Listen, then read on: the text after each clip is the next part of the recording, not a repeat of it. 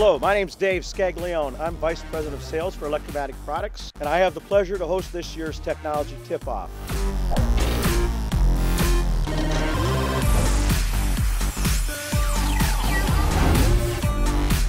This is the largest local show that we're doing to showcase Siemens, to showcase all the other vendors of what we can do to provide value for our customers in the manufacturing space. I'm Jim Baker, the president of Electro-Matic Products Incorporated. We want to thank all of our friends and suppliers and partners who came here to help us with this event today.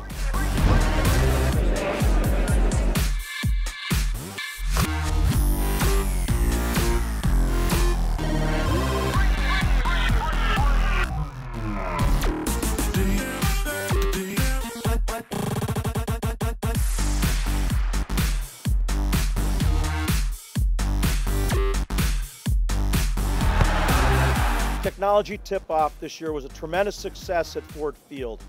We had over a thousand attendees from 200 different companies in the greater Michigan area. We had participants from all over the world come to do a technology transfer event in which they were able to gain knowledge that will give them a competitive advantage as they do their business operations in the future.